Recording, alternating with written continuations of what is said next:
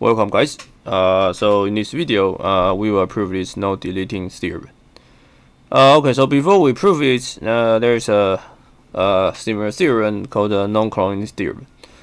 Uh, so I searched for Wikipedia and uh, find that Wikipedia proof is a little bit different from original that like the Nielsen and Chuang proof. So let's just compare it. But I think it's similar. Okay, so uh, I mean, it, I mean, based on how to how to define a so-called the cloning. Okay, so the standard proof is that uh, there's a no unitary such that H, right? H is a complex, uh, finite dimensional complex Hilbert space that to H tensor H. Okay, so let's assume that you have unitary and linear matrix.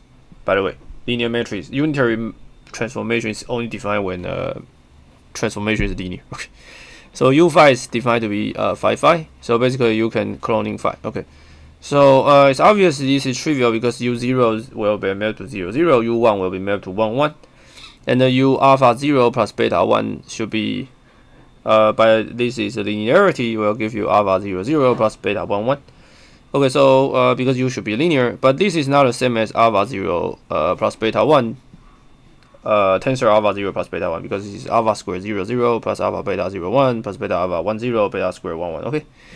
So no such u exist.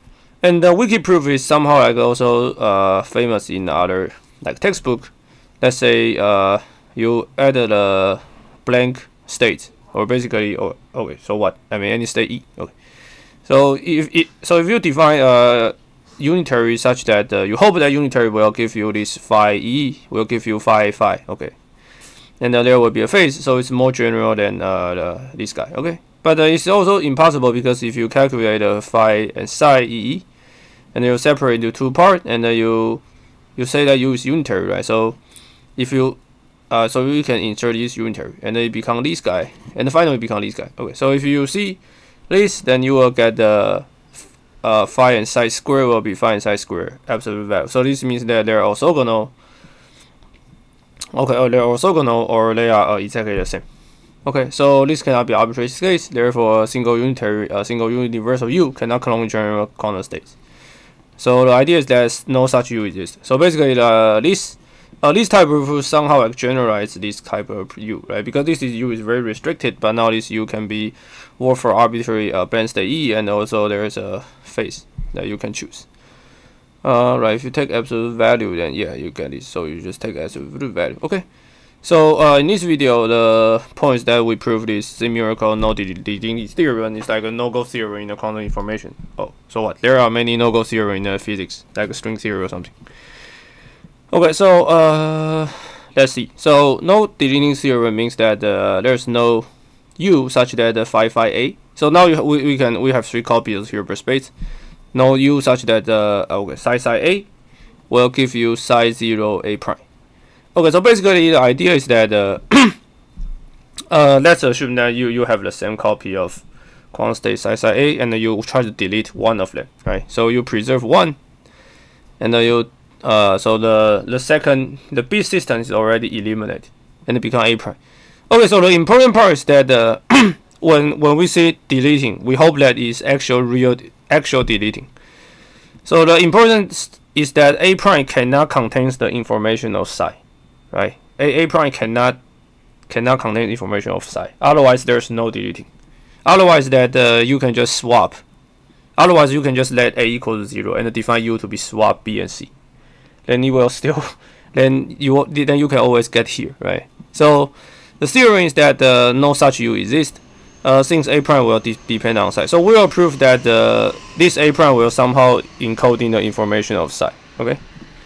So otherwise this is no actual deleting. So as I said if you just define that uh, so basically if you uh, you can define that uh, you eliminate you can define that a to be zero and the u act on psi psi zero will be psi zero psi then it looks like it satisfies this uh, definition, but it's no actual deleting. So for actual deleting, the A prime cannot contain the information of psi. At least you cannot recover all the psi from A prime. Okay.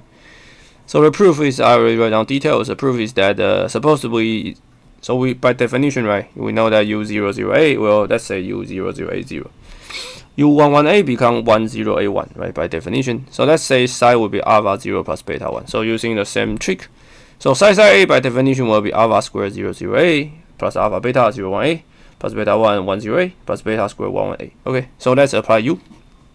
You can alpha square. So the first term is linearity, right? So you beta 0 0 a 0 plus beta square 1 0 a 1 plus alpha beta let's say u 0 1 a plus beta alpha u 1 0 a. Okay, so by definition, this u psi psi a should be psi 0 a prime, right? By by the our definition here. So let's uh, let phi to be this cross term. So phi will be 1 over square root 2, 1, 0, a, and then 0, 1, uh, 0, 1, a, and then 1, 0, a.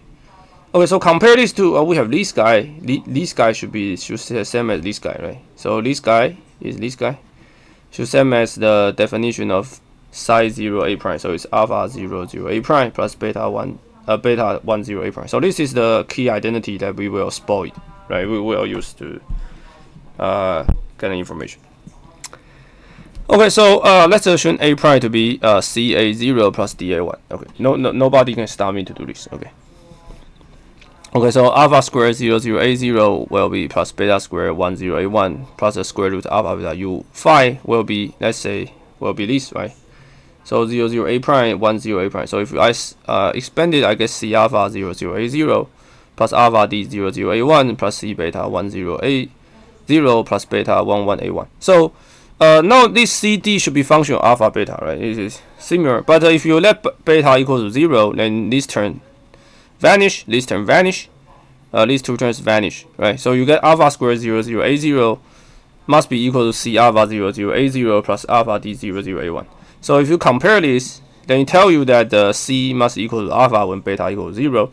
And the same reason is that d must equal to beta when alpha equals 0. So it's easy to guess that the c must be alpha, d must be beta. Because alpha and beta can be arbitrary, okay?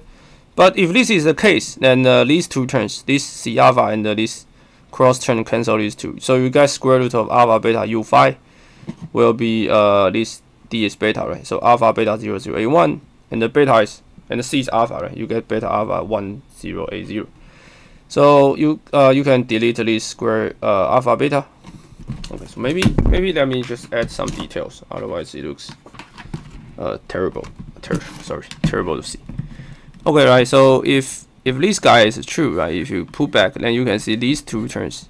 If these four terms cancel, so you leave as this, then you cancel alpha beta. So you get u phi is 1 over square root of alpha 0, 0, a1 plus 1, 0, a, a0. And also your a prime, yeah, right? By your a prime, uh, your a prime is to be this, right? So this is, uh, the proof is ended. Okay, so uh, why, why proof is ended, right? Because uh, what your, your original psi like alpha 0 plus beta 1, right?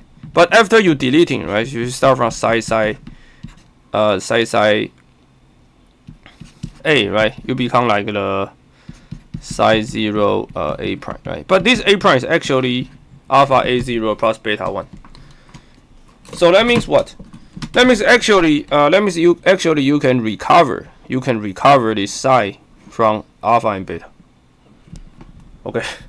So basically, you can you, you can recover this say this psi from reading this alpha and beta. So that means the information is not actually deleting because it seems like that you are just swap this this some psi information and uh, put all this psi information into other part a a a prime. So as the as we prove that if you want to prove that there's actual deleting, then the, this a prime cannot depend on psi. At least you cannot recover all of it, right? But now you have alpha to alpha coefficient and beta. Once you read the alpha and beta, then actually you can reconstruct psi. So the information is not actually deleting. So this is the theorem of no uh, deleting theorem. Uh, this is the theorem of no deleting theorem.